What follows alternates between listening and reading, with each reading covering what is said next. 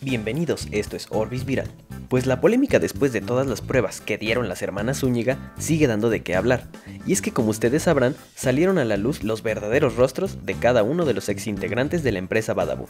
Ahora está Bob Betancourt, quien después de que en las grabaciones apareciera diciendo que jamás sería parte del Team Hooky Love, después de eso Habló de él en sus historias de Instagram y le recordó que él había hecho lo mismo que le hicieron a sus compañeros, pero con Kenia Oz.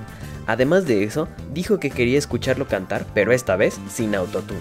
Esto fue lo que dijo. De que, es una persona muy chambeadora y que tienen pues muchísimos, muchísimos pendientes más. El caso es que cuando yo rescaté a la primera perrita, este youtuber le puso la voz a ese video, él lo narró, yo lo ayudé a grabar el audio, este, todo fluyó muy bien, este, me dijo, ¿sabes qué? Que le agrego, que le quito, ah, vete por acá, todo bien, ¿no? Yo pensé que pues era el inicio de una bonita amistad.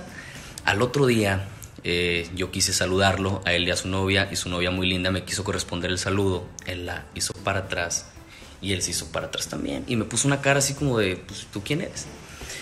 A partir de ese momento yo me di cuenta de la calidad de persona que era él. Realmente no puedo decir pues una referencia positiva. Entonces, ¿a dónde voy a relacionar esta historia con esta otra? Y por favor, quiero que te lo tatúes en el alma esta polémica que hay de Badabun, nosotros como youtubers, contratos, injusticias, todo lo malo y todo lo negativo, fue exactamente lo mismo que hizo él con otra youtuber. Mismo caso. Entonces, apá eh, y bellita y caballero, te lo pregunto de todo corazón. Y yo soy el falso. Tienes que ser congruente con lo que dices, con lo que haces.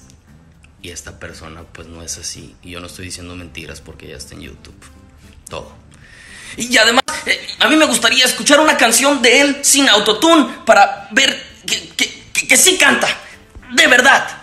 Cierto, bellas y caballeros, ayúdenme a mandar esta historia a los miembros del Team Hooky, ya sabemos a quiénes. Con algunos ya tengo la oportunidad de convivir, de cotorrear, la neta todo está chido y ustedes créanme que son totalmente independientes y ajenos a los problemas que podamos tener de carácter personal. Cuando dije, es que yo no quiero ser parte del Team Hooky, me refiero a, al contexto, a la situación, que estoy seguro que saben de lo que hablo. Con cada uno de ustedes es totalmente diferente y espero coincidir con ustedes pronto, convivir y pues que todo esté como si nada y todo chido. Pura buena vibra.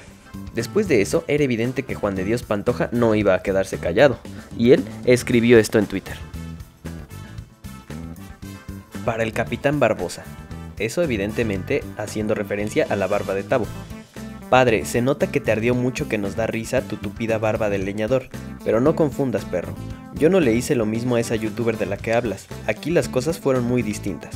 Por lo menos, a mí jamás se me acusó de acoso sexual ni de nada de lo que a esa empresa se le acusa.